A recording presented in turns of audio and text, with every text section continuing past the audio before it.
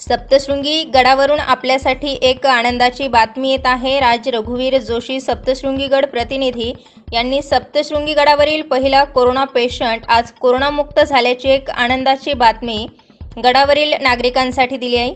आई सप्तशृंगीच्या आशीर्वादाने सप्तशृंगी निवासिनी देवी ट्रस्टमधील धर्मार्थ दवाखाना येथील वैद्यकीय क्षेत्रात काम करत असलेले पन्नास वर्षाची व्यक्ती आज कोरोनावर मात करून आपल्या घरी सुखरूप परतले. दिनांक तीस जून रोजी सप्तशृंगी गडावर सप्तशृंगी निवासिनी देवी ट्रस्ट येथील धर्मार्थ दवाखाना येथील वैद्यकीय क्षेत्रातील एक कर्मचारी कोरोना बाधित सापडले होते. हेच पेशंट आज कोरोनावर मात करून आपल्या घरी आले त्यावेळी सप्तशृंगी गडावरील प्रतिष्ठित ग्रामस्थ सप्तशृंगी निवासिनी देवी ट्रस्टचे व्यवस्थापक सुदर्शन दहातोंडे यांनी कोरोनामुक्त पेशंटला फुलं देऊन त्यांचा सत्कार केलाय.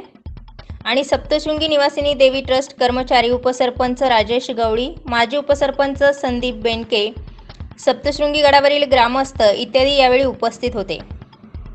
त्यांनी या कोरोनामुक्त झालेल्या पेशंटचा फुलांचा वर्षाव करून आणि टाळ्या वाजवून स्वागत केलं आहे.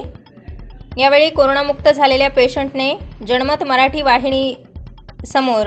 ते कोरोनातून कसे मुक्त झाले ते या भयंकर अशा आजारातून कसे बाहेर आले अशा त्यांनी आपल्यासमोर त्यांनी प्रतिक्रिया आहे. हा कोरोना आजारावर कोरोनाची माहिती अशी का हवेत उडतो त्याच्यामुळे समोर पेशंट आलं ना हॅलो?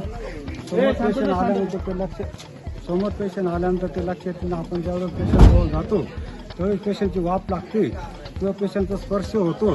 तर आपल्या लक्षात येत. नाही त्याच्यामुळे कोरोनाच्या आजाराचे लक्षणं आपल्याला दिसून येतील. ते हवेत उडतो असं शास्त्रज्ञांचं म्हणणं आहे. त्याप्रमाणे तो कोरोना मला झाला पण मी आता दहा ते पंधरा दिवसामध्ये रिकवर होऊन मी माझ्या माझ्या दवाखान्यात आलो. जनमत मराठी वाहिनीसाठी हा सर्व आनंदाचा आढावा घेतला आहे राज रघुवीर जोशी यांनी सप्तशृंगी गडावरून.